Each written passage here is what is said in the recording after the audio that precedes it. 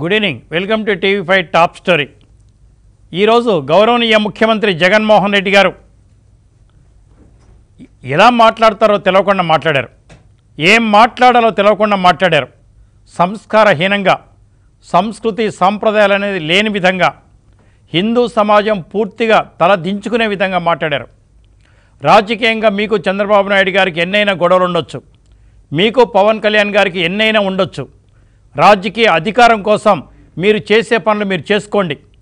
బాబాయిని హత్య చేసుకొని సింపతి సాధిస్తారో కోడి కత్తి కేసు డ్రామా ఆడి సింపతి సాధిస్తారో మీ ఇష్టం. లక్షల కోట్ల రూపాయలు సంపాదించినట్టుగా ఈడీ సిబిఐ చెప్పింది. డబ్బులు వెదజల్లి సంపాదించుకుంటారో అక్రమంగా అధికారంలోకి వస్తారో అవినీతి సొమ్ముతో అధికారంలోకి వస్తారో అబద్ధాల మేనిఫెస్టోతో వస్తారో ఆరున్నర లక్షల కోట్ల కొట్టేశారని అబద్ధాలు రాసి రాసి ఒక్కటి కూడా నిజాయితీగా నిరూపించలేక చతికిల పడతారో మీ ఇష్టం. కానీ వాడిన పదాలు మాత్రం అభ్యంతరకరం.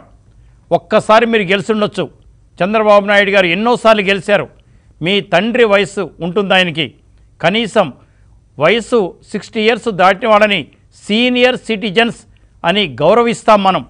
నిన్ననే కదా మోడీ గారిని కలిసి వచ్చారు కనీసం మర్యాద కూడా తెలియదు మీకు. డెబ్భై రెండు సంవత్సరాల వయసున్న చంద్రబాబు నాయుడు గారిని ఈ ముసలోణ్ణి చూడ్డానికి వస్తున్నారా అని ప్రేలాపన చేశారు. పిచ్చి పిచ్చి కూతలు కూశారు ఎస్ ఐఎమ్ అన్ రికార్డ్ ఏం చేస్తారో చేసుకోండి. అంత సీనియర్ నాయకుడిని మీరు గౌరవించే పద్ధతి తెలిసిన తర్వాత మీకు గౌరవం ఇవ్వడం అనవసరం. మిమ్మల్ని గౌరవనీయ అని పదం వాడటం కూడా అనవసరం. కానీ ముఖ్యమంత్రి హోదాలో ఉన్నారు కదా ప్రజలందరూ ముఖ్యమంత్రి కదా ఆ ఒక్క పదం నన్ను మీకు గౌరవించేలాగా చేస్తుంది. వయసు గౌరవం సార్.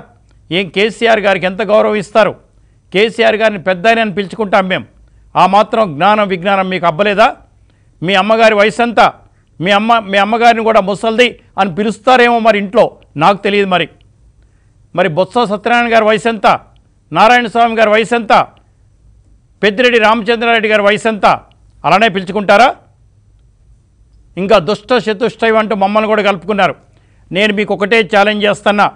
టీవీ ఫైవ్ పెట్టినప్పటి నుంచి ఇప్పటి వరకు మీ మీద కానీ ఇతరుల మీద కానీ ఒక్క అవాస్తవం ప్రకటించిన ప్రసారం చేసిన ప్రచారం చేసిన ప్రూఫ్ చేయండి అని చెప్పాను. మీరు తప్పించుకుంటున్నారు.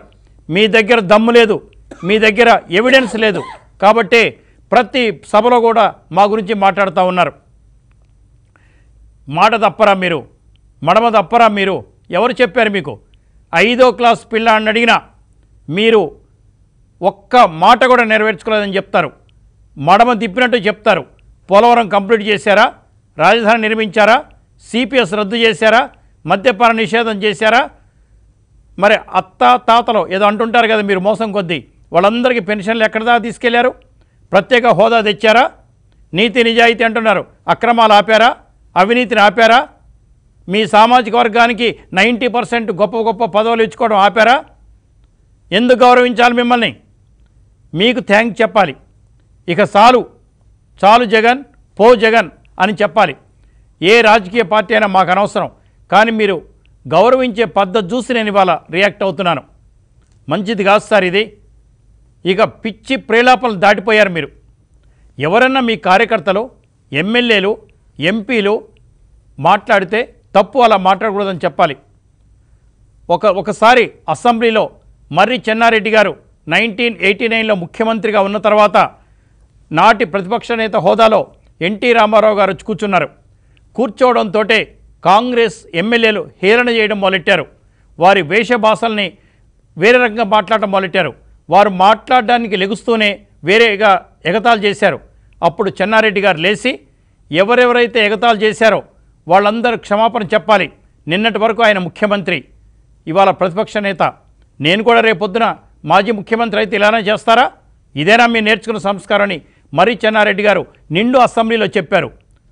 కాకపోతే మీకు అసెంబ్లీ అంటే ఏంటో తెలియదు చెన్నారెడ్డి గారు ఎవరో తెలియదు మీకు ఎమ్మెల్యేలు తెలియదు మంత్రులు తెలియదు రాజ్యాంగం తెలియదు సంస్కృతి తెలియదు సంప్రదాయాలు తెలియదు ఏం తెలుసంటే ఏమీ తెలియదు కాబట్టి మీకు చెప్పి కూడా వేస్ట్. ఇవాళ నర్సీపట్నంలో మీరు మాట్లాడిన భాష మీరు ప్రవర్తించిన తీరు ఏ రాజకీయ నాయకుడు కూడా వద్దు సార్. ఏ రాజకీయ నాయకుడు కూడా ఇట్లా మాట్లాడొద్దు. మీలాగా తయారవద్దు అందుకే మీరు అపరిచితుడు. చెప్పేదొకటి చేసేదొకటి. పట్టాభి గారు తెలుగుదేశం పార్టీ ముఖ్య అధికార ప్రతినిధి ఉన్నారు. అలాగే కొలిక్పూడి శ్రీనివాసరావు గారు మనకు ఏపీ పరిరక్షణ సమితి అధ్యక్షులు అలాగే పెద్దలు పూజ్యులు మనకు సంజీవ్ రెడ్డి గారు ఉన్నారు కాంగ్రెస్ పార్టీ నాయకులు. సంజీవ్ రెడ్డి గారు నమస్కారం సార్. మీరు ఏమనుకోవద్దు సార్. వైఎస్ రాజ్